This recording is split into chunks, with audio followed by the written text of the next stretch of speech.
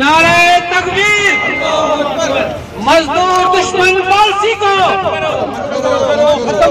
मजदूर दुश्मन पॉलिसी को। मजदूर दुश्मन पॉलिसी को। मजदूर दुश्मन पॉलिसी को। खत्म करो खत्म करो। मजदूर दुश्मन पॉलिसी को। खत्म करो खत्म करो। मजदूर दुश्मन पॉलिसी को दुश्मन पॉलिसी खत्म और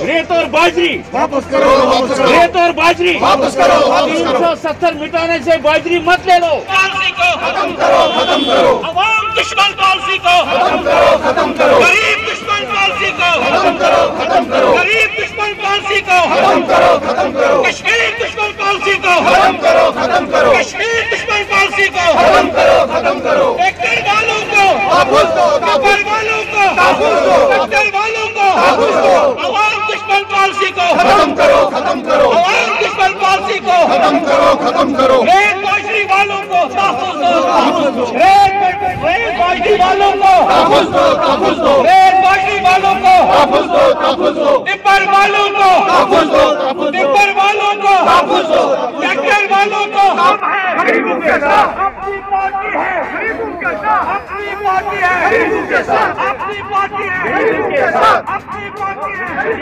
अपनी पार्टी है गरीबों के साथ अपनी पार्टी है गरीबों की अल्ताफ बुखारी साहब गरीबों की आवाज़ अपनी पार्टी जिंदाबाद अपनी पार्टी जिंदाबाद अपनी पार्टी जिंदाबाद अपनी पार्टी जिंदाबाद अपनी पार्टी कदम बढ़ाओ हम तुम्हारे साथ हैं अपनी पार्टी कदम बढ़ाओ हम तुम्हारे साथ हैं मजदूर दुश्मन पॉलिसी को खत्म करो खत्म करो मजदूर दुश्मन पॉलिसी को खत्म करो खत्म करो। आवाम को मटीरियल की महँगाई से नजात दो नजात दो। आवाम को मटीरियल की महँगाई से नजात दो नजात दो। महँगाई से नजात दो। महँगाई से नजात दो। महँगाई से नजात किसी को बड़ा हाय हाय किसी को बड़ा नहीं चलेगी। नहीं चलेगी नहीं चलेगी। नाइंसाफी नहीं चलेगी। नहीं चलेगी नहीं चलेगी। किसी को बड़ा हाय हाय। किसी को बड़ा हाय हाय। किसी को बड़ा हाय हाय। किसी को बड़ा हाय हाय। होश में आओ। होश में आओ। होश में आओ। किसी को बड़ा होश में आओ होश में आओ होश में आओ। देखिए बात यह है कि ये जम्मू कश्मीर के इस यूटी स्टेट में जो माइनिंग एंड जोलॉजी पॉलिसी आई हुई है वो कश्मीर जम्मू कश्मीर के लोगों के ख़िलाफ़ है। इस वक्त जो कास्ट मटेरियल जो है, जो 6000 में रेत मिलती थी, वो 16000 और अठारह हज़ार में जा रही है। सारा ये सरकार कह रही है कि हमारा डेवलपमेंट प्रोसेस चल रहा है। सारा प्रोसेस जो एग्जीक्यूशन का वो हाल्ट हो गया। गरीब आदमी, मजदूर आदमी ट्रैक्टर वाला टिप्पर वाला और जो भी जो भी जो भी लोग इसके साथ मुंसलिक हैं या कोई आदमी कंस्ट्रक्शन करना चाहता है, वो नहीं कर सकता। इसलिए कि इनकी पॉलिसी जो आई है वो कोविड के दिनों में उन्होंने ई टेंडरिंग की और अपने लोग जो हैं स्टेट से बाहर यहाँ पर लाए और यहाँ के मजदूर को यहाँ के ठेकेदार को यहाँ के ट्रैक्टर वाले को यहाँ के टिप्पर वाले को, फाका कशी करने पर मजबूर कर दिया। इसलिए अपनी पार्टी ने थ्रू आउट स्टेट ये प्रोटेस्ट का प्रोग्राम बनाया कि हम सरकार को कहेंगे कि वो होश में आए और उस पॉलिसी को रिवाइव करे उस पॉलिसी को रिव्यू करे इसको नीचे का ऊपर हला के रख देंगे। लेकिन हम नहीं चाहते हैं कानून को अपने हाथ में लेना। हम एडमिनिस्ट्रेशन को यहाँ से ये मैसेज देना चाहते हैं। आप हमारी शराफत का नाजायज फ़ायदा मत उठाओ। डीसी साहब ये पॉलिसियाँ जो हैं ये पॉलिसियाँ ये बंद कर दो।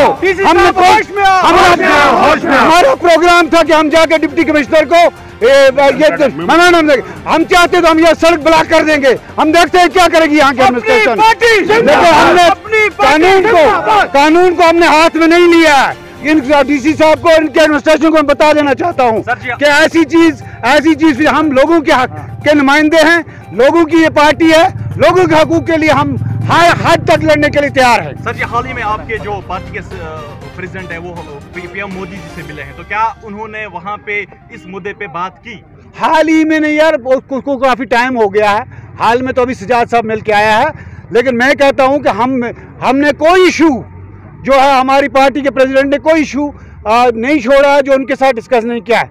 चाहे यहाँ के लेफ्टिनेंट ऑनरेबल लेफ्टिनेंट गवर्नर हैं, या होम मिनिस्टर हैं, या honourable P M P M हैं। हमने हर, हम हमारी पार्टी जो है, वो लोगों के लिए है। वो बीजेपी के बी नहीं है, आपको समझ आता होगा आज। बहुत मीडिया ने यह चलाया।